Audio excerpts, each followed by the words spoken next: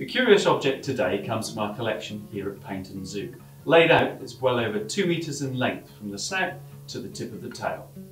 Each of the four limbs carries a foot equipped with strong, sharp claws. The orange fur is smooth and soft and bears an amazing pattern of dark stripes. The curious object from the zoo today is the skin of a tiger. The familiar stripes help to break up a tiger's outline. They may stand out against the green grass of Devon, but the stripes help a tiger to disappear in the dim dappled light of the scrub and the forest where they live. The colour that seems so burning bright to us is less obvious to the prey that they hunt, such as deer, many of which are colourblind to that part of the spectrum. Here at Paignton Zoo we care for two beautiful Sumatran tigers, sisters called Padme and Carrie, who arrived last year from the Danish Zoo where they were born. We have high hopes of breeding this critically endangered subspecies.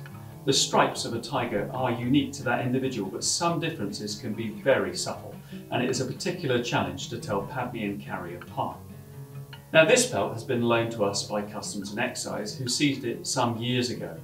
It's probably from a Bengal tiger the trade in tiger skins has been a particular problem for tigers for centuries and continues today, but attitudes have shifted.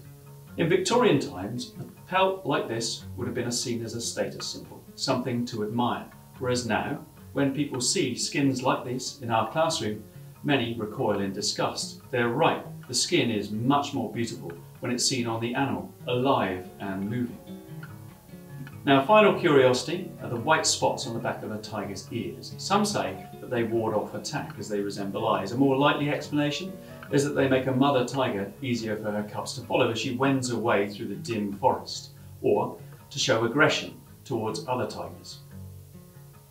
Now, I hope you've enjoyed seeing this curious object from the zoo. Make sure that you share, like and subscribe to our videos and come and see our amazing tigers here at Paignton Zoo soon. Cheers!